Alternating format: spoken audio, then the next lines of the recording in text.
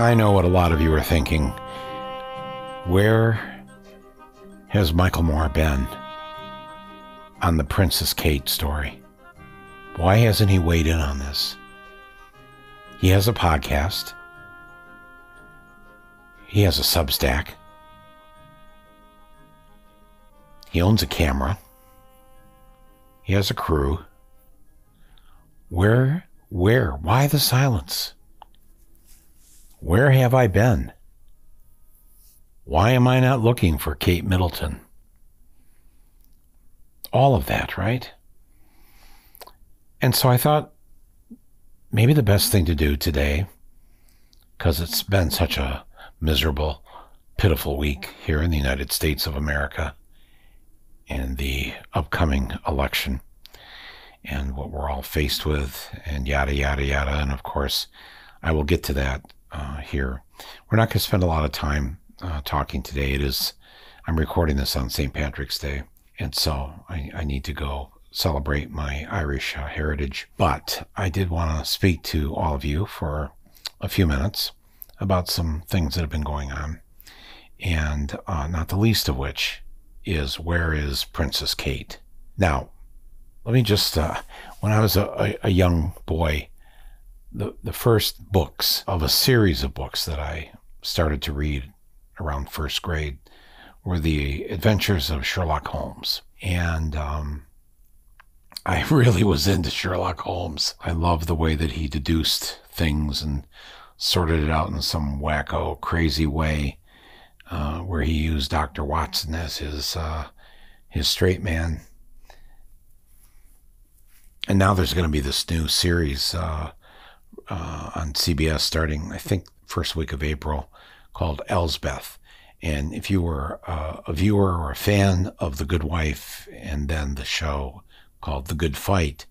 These characters have run through these shows uh, that are produced by um, Robert and Michelle King, uh, the Kings, and uh, uh, they do really smart TV for network network TV that's smart things that you would watch, um, and and so this Elsbeth character is, is she's sort of a a Sherlock Holmes on the spectrum, I guess maybe is a, a good way to put it. But it's they, they they did a preview of the pilot here last week, and uh, it was pretty pretty good. So I'm gonna I'm gonna watch this when it comes uh, when it starts here in another another week or so. But back to my Sherlock Holmes uh, fixation as a seven year old, eight year old. I've always I've found this very helpful in making documentaries and uh, in my writings over the years that it's it's best, especially if you're in journalism, to always assume you're being lied to. It doesn't mean that you are, and it doesn't mean you have to be paranoid or whatever, but you should start from that position that um, you know how like we like to say in this country, you're innocent until proven guilty. Yeah. Uh, and too much of journalism is they just believe the official story. They believe the handout, the press release. And then serious hard questions are never asked. No investigation is done anymore. There's there's so little money spent on actual news, especially electronic news, especially what we call television. Uh, it's it's a dead and dying um, operation, and so we don't get a lot of that. What we, at least what I got when we were growing up, there were uh, journalists who really wanted to find out what the truth was and never accepted the official story that came from the spokesperson for the corporation or the government official standing behind a podium. Many of the good ones back then started with that basic concept that, well, everything that you're telling me right now is probably not true. And I'm going to start there. And then I'm going to either make you prove to me that it's true before I report this to my audience, or you're not. And then I'm going to prove that what you've been telling us is a bunch of BS. So, in the case of Kate Middleton, uh, do we need some Sherlock Holmes music or some, something mystery, like a we're going to solve this mystery here in the next uh, two or three minutes.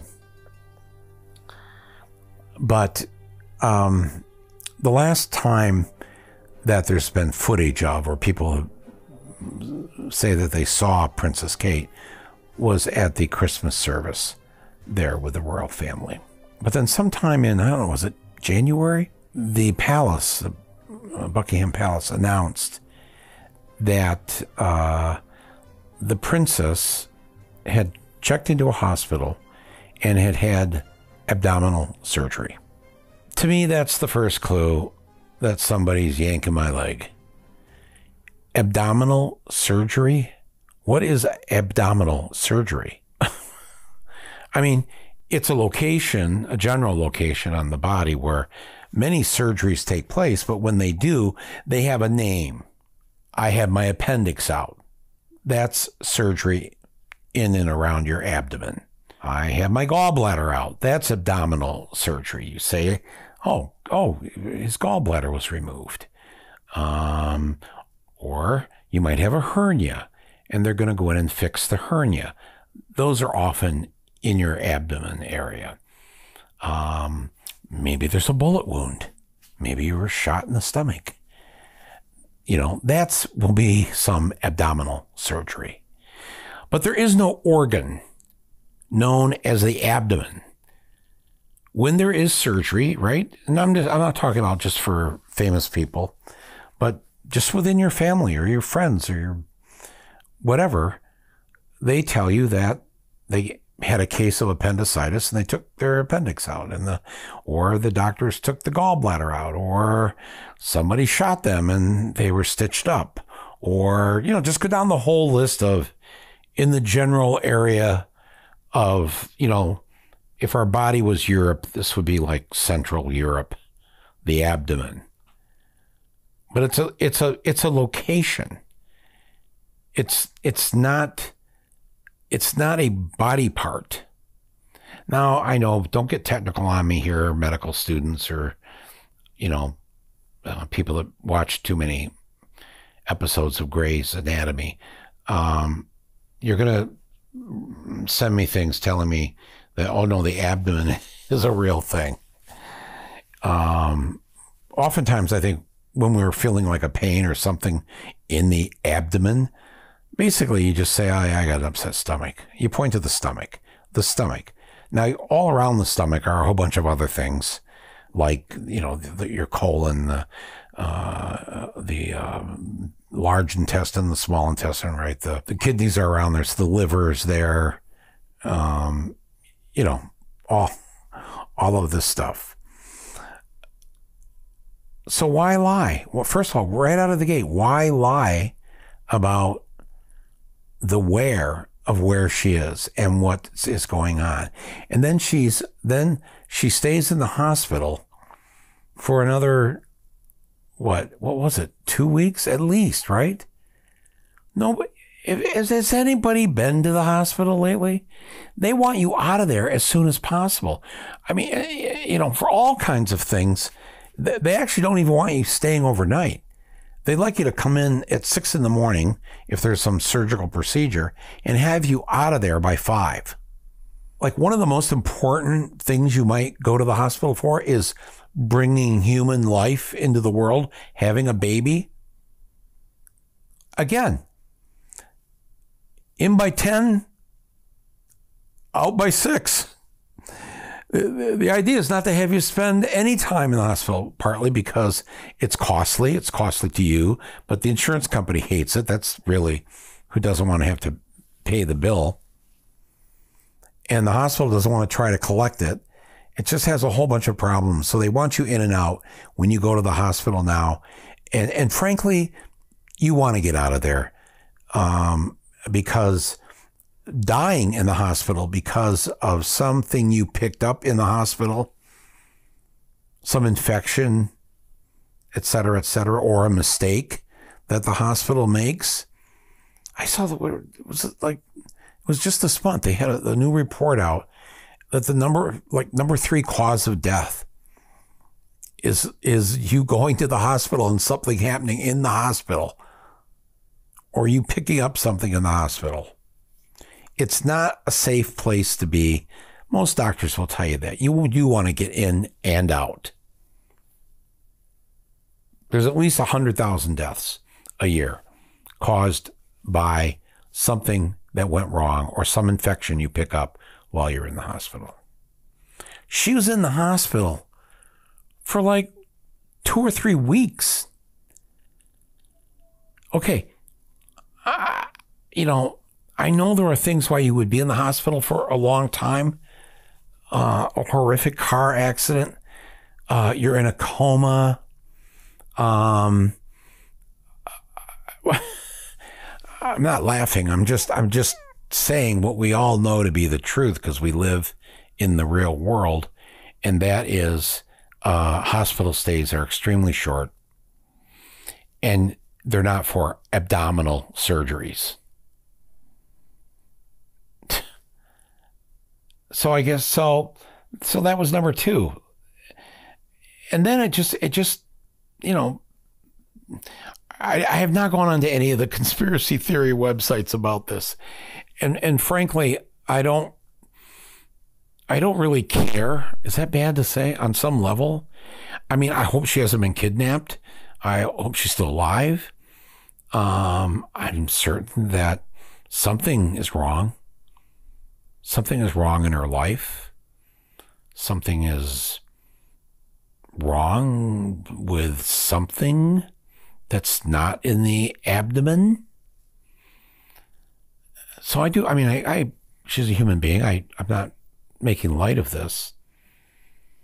But um, with all the crap we've got going on right now in this country, around the world, um, you know, the mystery of Princess Kate shouldn't even be taking up the amount of time I'm giving it here on today's podcast. But I just, I just I know a lot of people in the royal royal family listen to this podcast, so I just want to say to you now, as you're listening to this, um, that everybody's on to you. Nobody believes you. Um, you know, men, cheaters, men who cheat on their wives. You know, I, we don't need to go into the statistics of of sadly, a lot of boys grow up to emulate their fathers and end up doing things that their fathers did. And a lot of men, not all, but who are sons of cheaters, sadly end up being cheaters themselves. Now, many men um, don't do that in large part because their father was this way. And so they wanted to, when they became adults, make sure that they didn't behave like their fathers. So that is, I thought, I'm an optimist about this, and I think most people want to have a good life without a lot of pain um, attached to it. I don't need to spell this out. I think everybody just read between the lines of what I was saying in the particular case that we're investigating on today's podcast, my new true crime podcast, Find the Missing Royals with Michael Moore. Um, but it should be okay. And because they are important to a lot of people in the United Kingdom and in maybe one or two of the Commonwealth countries, but, you know, when you start to get the little tells that things aren't right, it's okay to pay attention to them. And if you're a journalist, it's okay to ask questions. And I think one of the sad tells about Prince William, it seems, that um, he hasn't treated his brother very well. And um, I read Harry's book. Wow. Um, I also watched their their documentary series and, and the interviews with uh, Oprah. Now I know you're saying, Mike, really? with everything that's going on. Yeah, but I'm a fast reader, and uh, and and I find I find uh, Meghan and Harry to be interesting people that are trying to do good for the world. So, you know, I'm always for those of us who want to do good for the world and not feel so alone in doing it that there's other people that are doing it, and some of them, you know, might be a member of the royal family, even though they've been virtually kicked out of it. I guess they can't fully be kicked out of it because um, whatever the hereditary laws are in kingdoms, they uh, they maintain who they are. But I got to believe that um, their mother, their deceased mother, probably wouldn't be happy to see how her youngest boy has been treated. And generally, I don't know. When you see behaviors that, and even though this is all from a distance, we don't, we're not in their lives, thank God. But when you see certain behaviors that just don't seem very decent or kind, then I think, especially if you're a journalist, everything should be suspect about those kinds of people. So where is she? I don't know. Was that her in the car in the car with her mother? I don't know. But anything you need to know about her mother and what her mother's role might be in this uh, can all be explained by watching uh, the just completed final season of The Crown. It was uh, pretty brutal the way that Kate and her mother are first introduced in the in the story of the crown in this last season and um, you know how much of it is true i don't know i mean this it's a work of fiction based on real life situations here but um, you know come on you you who listen to my podcasts and read my stuff and watch my movies you're you're skeptical people not cynical but I didn't say cynical, skeptical. We should all be skeptical. We should all question what we're being told. We should always question authority. And and if they can't get the things right, the simple dumb shit stuff like the royals, if they can't get that right, and if they um, allow to have the wool pulled over their eyes, or they just like repeating things that aren't true that they haven't investigated, but they repeat them as truth, then I don't know. If they really are giving us a lot of horseshit on inane stuff like where's the missing princess? Man, we live in a dark time and we need our free press more than ever and we need journalists to do their jobs. And you've already spent now, what, over two months, longer, on this princess nonsense to the point where I'm compelled to begin my podcast talking about this and not getting to the real issues of the day. So I'll just stop right here because, well, my abdomen is starting to feel a little, I don't know, what is this I'm feeling in my abdomen? I, am going to need to take a quick break here before we uh, continue with, as I promised, this very short podcast. But um, um, why don't I? I'm just going to move to a, another undisclosed uh, room uh, here in the apartment, and um, and why don't I, while I'm doing that, tell you about uh, today's underwriter, the good people that are uh, funding uh, today's up episode of of Rumble with Michael Moore and Kate Middleton. Now, not everything has to be as unclear and mysterious as the current whereabouts of the Royals. For instance, if you're a small business owner or even a larger one, or maybe you have a school or a nonprofit or something like that, and you're trying to raise some money to have a living, and you want to share it with an audience without any hassle, then our underwriter for today's episode of Rumble, Shopify, is your answer.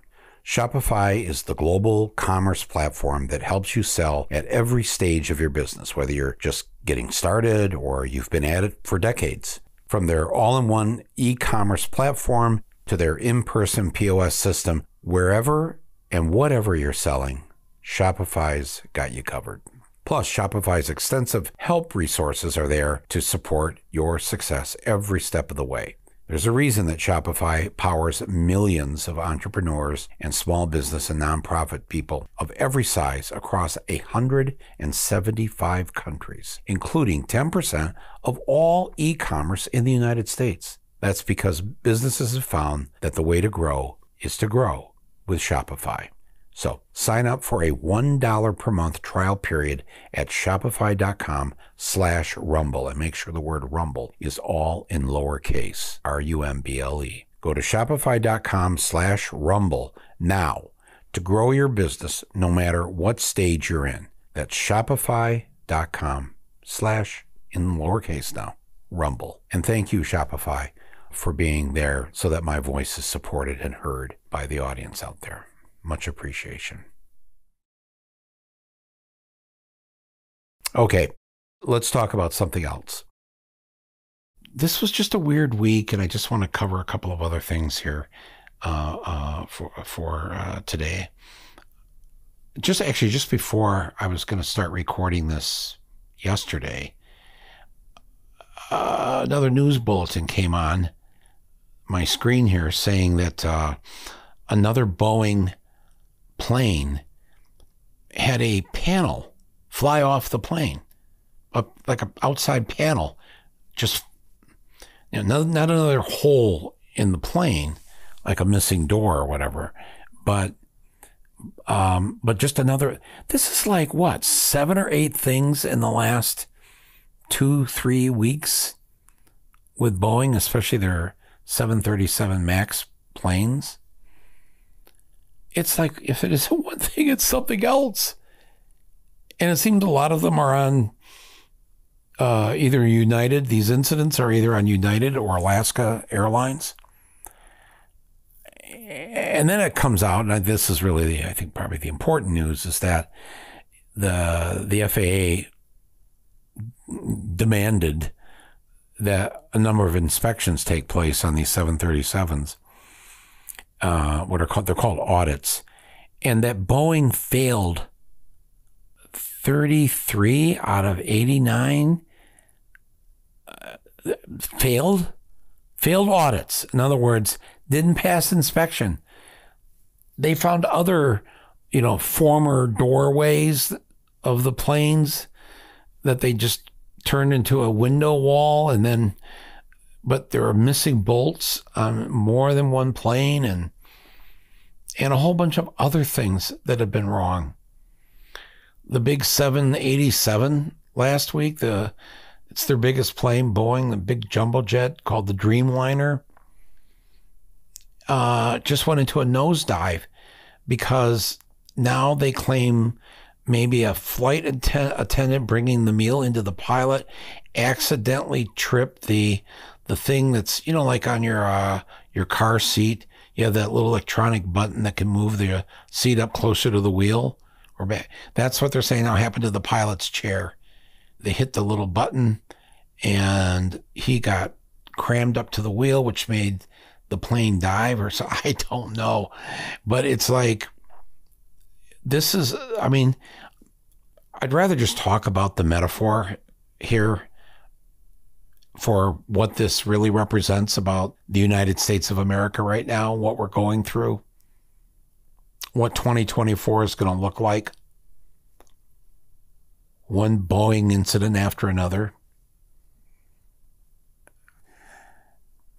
The Palestinian people, a lot of people, when they get a little bit of electricity to charge up the battery on their phone or their tablet or their computer, they've been sending out actual footage of the slaughter so that that uh, we can't turn away because we don't really want to deal with this, do we? We don't want to think about how we're paying for it, do we?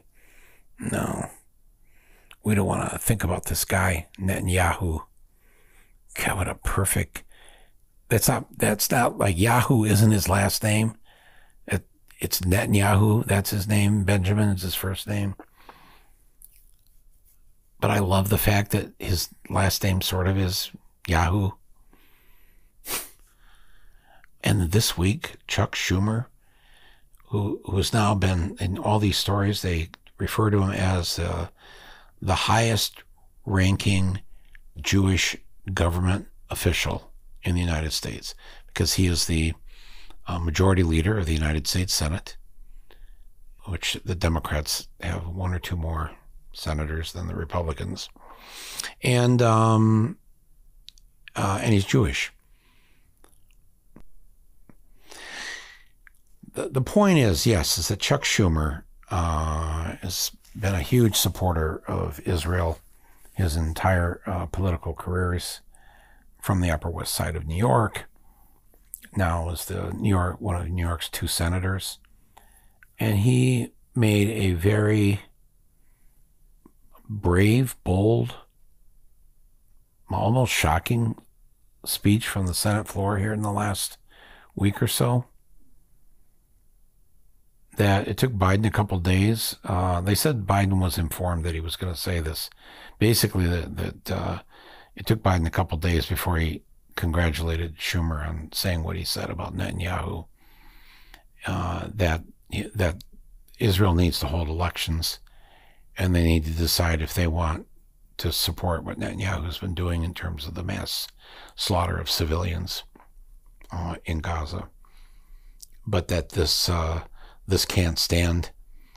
He implied there should be at least a temporary ceasefire, which isn't good enough.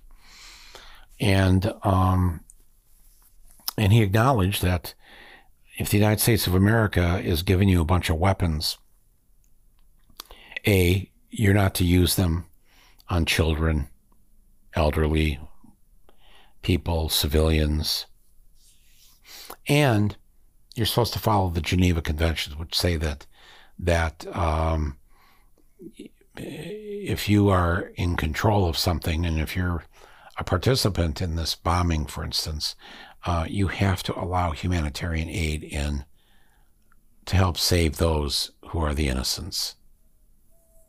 Please don't write me and tell me how no Palestinian is innocent. They're all the same.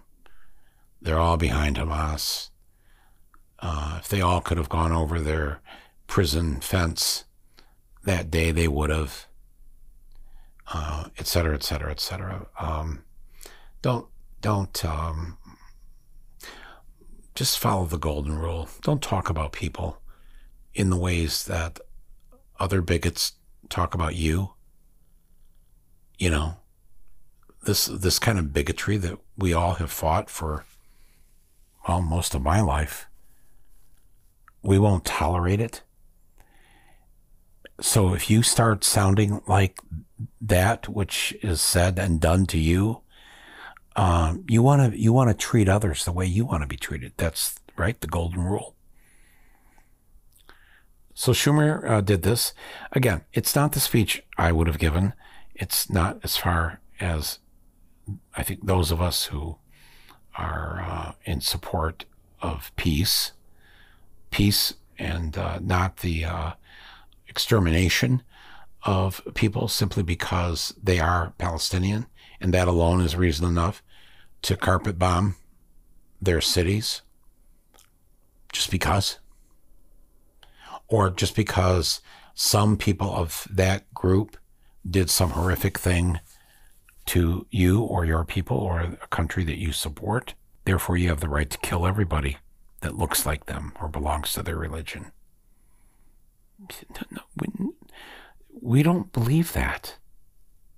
At least we say we don't. And unfortunately, the people that run our government haven't pulled the plug on the madness. This thing can end. You know, I mean, it's yes, and I've I've said everything I've had to say about Netanyahu and blah blah blah blah blah. But we're the bank. We fund it. We supply the weapons. We supply the cover. And as long as we're the ones doing that, uh, the buck, no pun intended, really does stop. It starts with us and it should stop with us. So, you know, and this, the other thing, the week began last Sunday on the, uh, on the 10th. So this is now the 17th. Yeah. So the Oscars were last Sunday. It was a very powerful moment when a film called The Zone of Interest won for Best International Feature. Used to be called Best Foreign Film. And uh, the director uh, went up to the stage with his producers and made this incredible, incredible acceptance speech, saying, "We are, we are three men who stand here in front of you, refuting our Jewishness." Refuting was like, what? Wow. This film is about um, the zone of interest is about the quaint life that the commandant of Auschwitz lived just over the wall. So, like, you know, 20 feet over the wall that surrounds Auschwitz, where at least 1.2 million Jews were slaughtered uh, during the Holocaust, during World War II. And yet on the other side of the wall, he's got his nice little family and the kids and the, the dogs and the gardens and grandma comes by and everything. Oh, they go down and have a picnic by the river and they, you know, it's as I think I've mentioned this film in weeks past, it's one of the most incredible horror movies I've seen in some time and never shows any blood or you know, what we're used to with horror or horror films. Ah, you see the occasional black smoke rising into the sky from whatever's going on on the other side of the wall there. Now you hear a few gunshots every now and then. You hear a few, a few distant screams. You see the teenage boys, you know, got a little collection of teeth, human teeth in a little box up in his bedroom. This film is brilliant. And they gave a brilliant acceptance speech saying that they don't want people to look at the film as just a piece of history, but we should look at this film in terms of what we're going through now and the horrors that we support and they mentioned the occupation that's been going on now for quite some time the Palestinian people um, in the occupied territories and the war that's going on. And of course, you know, they mentioned the the horror, absolute horror of October 7th when 1,200 Israelis uh, were slaughtered it's it, I, I will put up on my on the site here on my page uh, for this podcast if you'd like to see their acceptance speech. So anyway, so yes, all of this is still going on, and um, which really leads me to um, probably the most important thing that I wanted to talk about here, and that's how a lot of you are feeling after this last week. Trump finally had uh, a, a few minor victories, maybe not so minor, because the most important thing, the good news that he got from a couple of the courts this past week, is is the thing he really wants to delay all trials so that no, no bad news, no convictions before people vote. That's his, that's been his plan, obviously, from the beginning. Because if he can postpone it, if he can avoid handcuffs being put on him and taken out of the court after a guilty verdict for the criminal trials, then he has a stands a chance in his mind at least of being president again. So I know a lot of you are feeling bad. I've, I've read a lot of your comments online. I've read your emails that you've sent me, and and I know I in the first you know two three years of the Biden administration, I have told you just not to worry, no matter what the polls are saying. You know, you've got to have a little faith in the majority of your fellow Americans. And Trump is not going to be let back into the White House. And I've said that up until October. And when the carpet bombing started with our planes and our bombs and everything else, just this mass slaughter of innocent people. And then Biden going there, embracing Netanyahu. You know, the occasional criticism, but nothing ever really happens. The slaughter continues. And they started polling people and finding out that a young people, 70 to 80% of young people oppose President Biden and what he's been doing. That means a hell of a lot of, the, of them, they're not going to vote for Trump ever. So don't think that. But they may not vote. They are very upset and they're very angry, as they should be, as we all should be.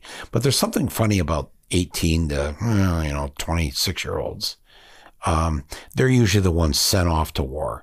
They hate war the most because they're the pawns of war. They're the ones who come back dead when you, you know, enough convince enough Americans that Saddam Hussein had something to do with 9/11 or that he had weapons of mass destruction he was going to use on us.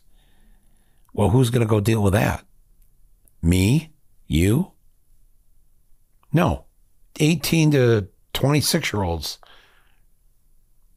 and some older because you know it's a volunteer army, so people sign up. People have careers,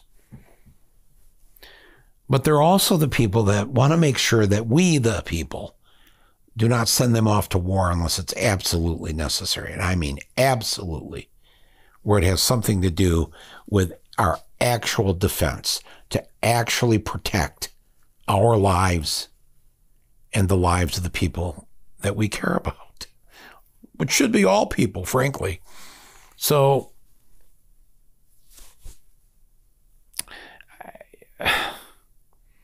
so now we find now we see in the polling that uh, young people, Biden is going to have less young people voting for him. They're mostly going to not vote or vote third party. And people of color, uh, his poll numbers are down with uh, Hispanic voters, with black voters. You know, not by a lot. There's still the, you know, majority are are for him and for obviously for, you know, the Democrats. But wow, and they're worried. They're very worried about it. You know, Biden purposely didn't campaign in Michigan before the Michigan primary last month because they were too afraid of protests people showing up to oppose his support of the killing in Gaza. They didn't want that on TV. He ventured into Michigan this week to do a little victory lap that he was taking of the blue states in the um, Great Lakes states. And uh, I thought, is he really going to go to Michigan? And he went to Saginaw. Went to Saginaw, Michigan. Saginaw is like, you know, if Flint is like a mini version of Detroit, Saginaw is a mini version of Flint. It's about 35, 40 miles north of Flint, known as the uh, birthplace of um, uh, Draymond Green and little Stevie Wonder. He's not little anymore, he's just Stevie Wonder. But uh, but those are Saginaw's two great gifts to the world. So yes, so we're, so people are worried. People are worried that um, Biden may lose. Uh, you, I had a hundred thousand of my fellow Michiganders a couple weeks ago voting uncommitted in the Democratic primary. Hundred thousand wouldn't vote for Biden. He, the Democrats lost Michigan by just 10,000 votes back in 2016. Trump won Michigan by an average of two votes per precinct throughout the state. 10,000 votes. You got 100,000 in the primary that voted uncommitted. I mean, Biden will, most of those people are going to vote for Biden. But we've shown how you can lose Michigan by just having 10,000 people sit it out. So it's a legitimate fear now that things may not go the way we want it to go, meaning Trump does not re enter the White House. So I understand why everybody's worried and concerned and nervous. And what I'm saying to you now is, uh, yeah, you should be, but I want to I want to give two reasons why that that we don't want to say this out loud, but I'm going to say it. And the reason why we need to be concerned is that Trump is smarter than us. I'll just let that sink in for a second. I know. I know. You're calling the people that come to find me, the guys in the white, uh, the white uniforms with a with a big net and take me away? Are you crazy? What do you mean he's smarter than us? Well, not in all the ways you know that where he actually is quite dumber than us. Um, no, I'm talking about the way throughout his entire life he's been able to pull shit off and get away with it. It is an amazing record. You know the record. I'm not going to run through the whole litany of it since he was in his mid 20s. How he's never had to pay a price for any of his, uh, what do we call, the variety of his behaviors, crimes various things he did with his father, racist stuff, sexual assault, etc., etc. You know the whole list. And he's gotten away with it. And he, and he, he you, you must at least got to give him some, you must marvel at how somebody that stupid is that smart when it comes to the performance of his evil and his ability to never have to pay for it. And that's what you're sensing right now. It looks like he might actually pull off delaying every single one of these trials. we're talking at least four trials we're talking um, 91 indictments, which I think now got lowered by three. Another minor victory for him last week. Now it's uh, 88 indictments. I don't know. Those of you listening, have you ever been indicted? I've never been indicted. Or maybe I should ask it this way Have you ever been indicted 88 times? Anybody out there right now listening who's facing four separate trials?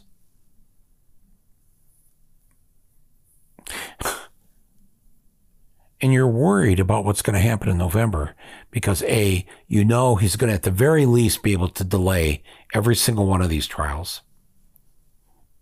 And you know that um, he's going to uh, be either found not guilty or there's going to be a hung jury or more crap like what's been going on in the Georgia courtroom is going to uh, be revealed. And his lawyers will file uh, more petitions to the court and just keep kicking this thing down the road. You know, I heard somebody say the other day on TV that um, if these trials ever actually do happen, it'll be when, uh, what is Obama's daughter, the older one, Malia? It'll be when Malia Obama is running for uh, president. That's how long this thing's going to take. And um, while it was a funny, scary line, um, it was it had a foundation of truth to it, and you know it. He's gotten away. That's why he said that famous line. As soon as he said it, I thought, well, actually, if they put a lie detector on him saying that, I could stand in the middle of Fifth Avenue and shoot somebody and nothing would happen to me. He believes that. No, he really believes it. It's not just bravado or a dumbass talking. He believes it because that's the life he's lived. From the, the most minor of offenses to committing an act of sexual assault and rape in the Bergdorf dressing rooms. He's gotten away with it every single time.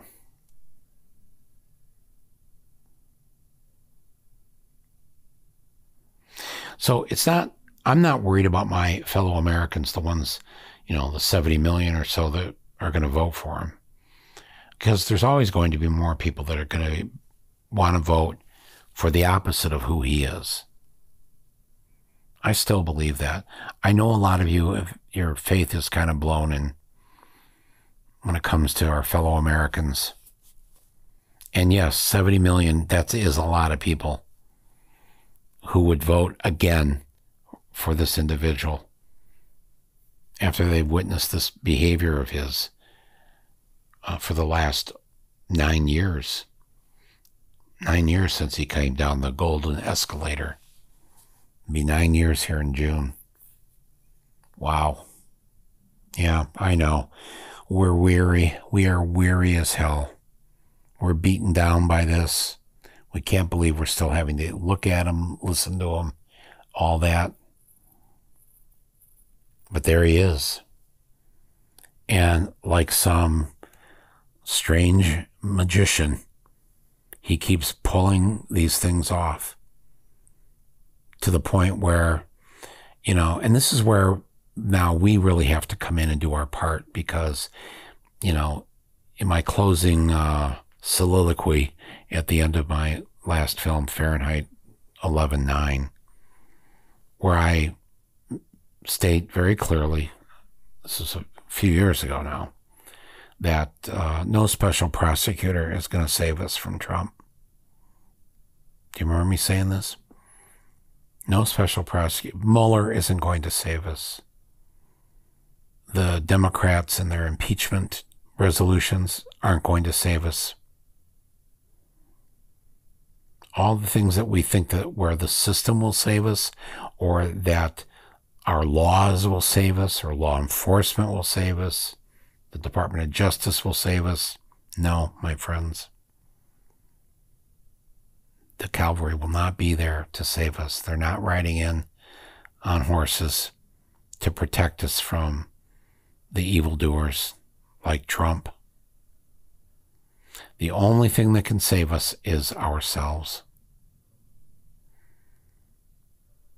We are going to have to mobilize. We are going to have to um, get laws passed. You know, we can complain all we want about how lame the Democrats were for the 49 years after Roe v. Wade was decided and abortion was legal. They had 49 friggin' years, the Democrats, to get a law passed by both houses. And they did control both houses at various times in those 49 years. But they were too afraid to really take it on. After all, it's, you know, it's just about women, the majority gender. Couldn't do it. And so, so when the Supreme Court finally got rid of Roe, we had nothing to fall back on unless your particular state uh, has enough good people in the legislatures that are going to protect women in those states. But these crazies are not done. These are extremists, my friends. I don't need, you don't need me to tell you this. Same sex marriage is coming down the road here. elimination of that, birth control, various forms of birth control. They're not going away, these people. They're crazy. They're not going away. And so we then, because we're the majority, and the majority agree with us, whether it comes to pro choice, the planet Earth, pick any issue, the majority are with us.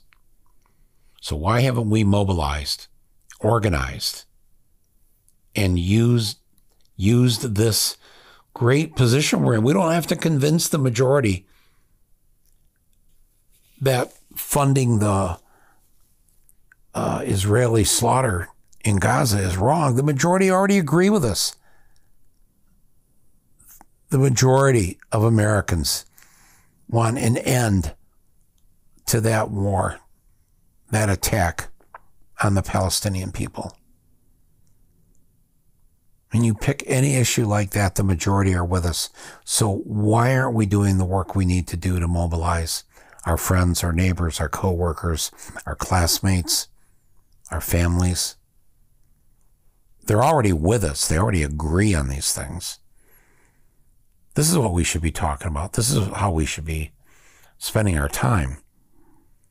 Not sitting around waiting for a prosecutor in Atlanta to save us. Not going to happen. Sitting around waiting for a special prosecutor in the Justice Department. Going to save us. Not going to happen.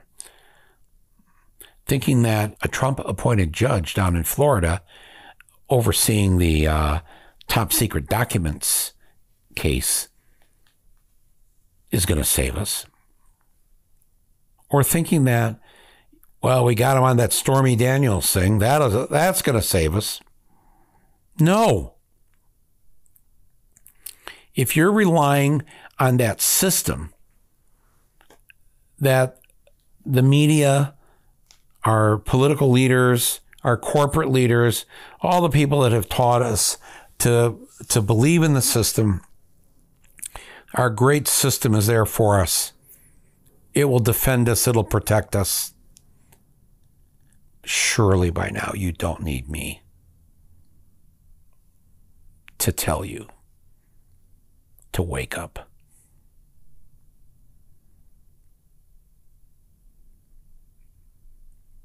It is a constant lie machine that is foisted upon us on a daily basis.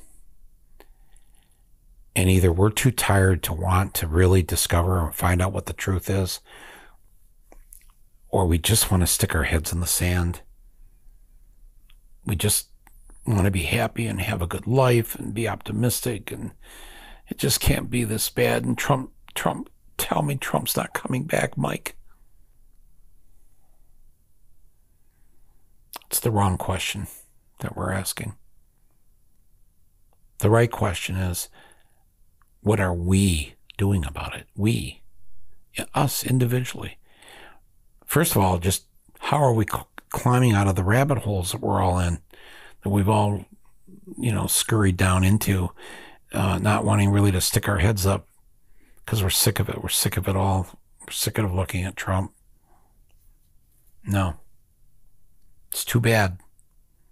If you believe in this, if you believe that we should complete the democracy experiment that we started almost 250 years ago, started it and, with in a highly flawed way, insisting that women have no voice, black people have no voice, Native Americans have no voice no say in any of this. Bit by bit, we've tried to fix it. Bit by bit, we've tried to complete the job. We can't, we haven't. We need to finish the job. You and I need to finish the job. And I'm telling you, friends of mine and me joining them, uh, in like two and a half weeks, we got 100,000 people in Michigan to come out to the polls to send a message to President Biden that the slaughter must stop, the funding of it must stop. And these are, we're all people that voted for Biden. Most of them, these most of the people I knew that were in that group, getting people out there last month, the Michigan primary. These are Biden supporters or former supporters. We did that in two and a half, eh, maybe three weeks. With little or no money, we organized it, got the national media's attention. They were forced to have to cover it to the extent that they did, but it was just enough where people knew, wow, I could go to the polls and I could I could send a message to the president of the United States, a strong message. And because it's a primary, I'm not really hurting the possibility of him staying in the White House if he does the right thing, but I'm also not helping Donald Trump. All that was made understood and possible. And the next week, the people of Minnesota came out by seven percentage points higher than the number of people in Michigan came out and voted on their ballot, their what was called, what was their uncommitted line to send a message to Biden. And if other states had that, more people would be doing it right now. Because why? Because the vast majority of Americans agree that the killing must stop in Gaza. Period.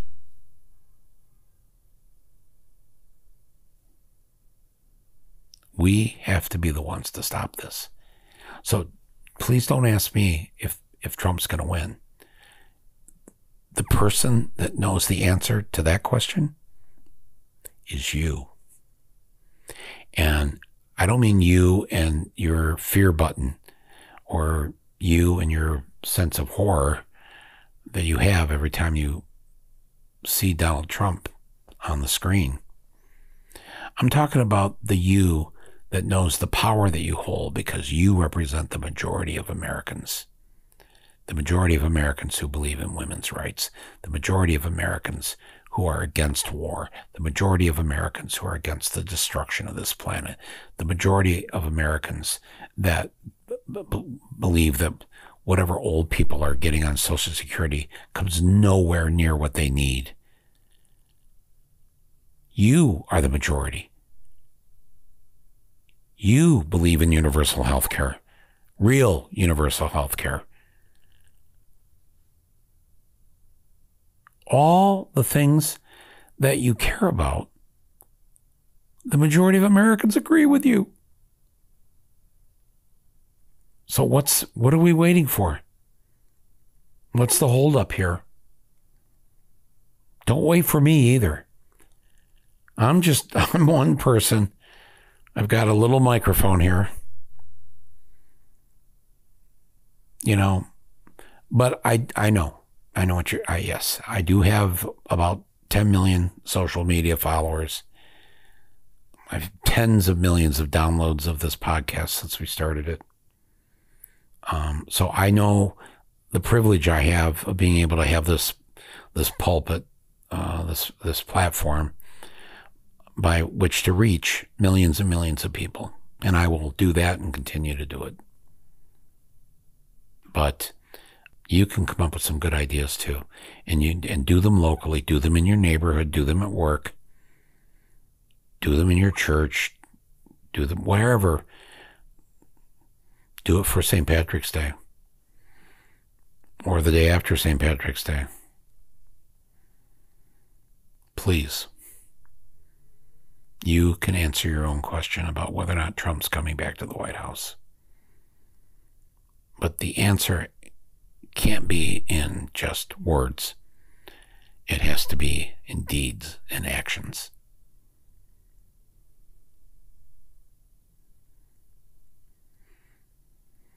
I'll pick this up again um, next week. By then, I will find Princess Kate. I'll leave you with that. I'll make that promise to you. I'm going to do my best to unravel what has happened here. And by the way, now some about a half hour later here, my abdomen is feeling much better. So um, I think I'll be good to go. and uh, we'll find out what happened to the Princess of Wales in our next edition of True Rumble with Michael Moore. My thanks uh, to our executive producer, uh, Angela Vargos, and to our wonderful editor and good friend, Donald Bornstein, uh, for uh, taking care of today's podcast for me. Uh, and to all of you who listen and share this with others, uh, thank you for that. And we'll talk to you very soon. This is Michael Moore, and this is Rumble.